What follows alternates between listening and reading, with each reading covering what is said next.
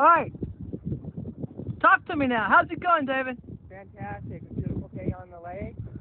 Quiet, peaceful, and just having a great day. You enjoying it with this new person, Jessica? We're not quite sure about her yet. Yeah, on tape. Yeah, uh, that's on tape. She's fantastic. Oh, man.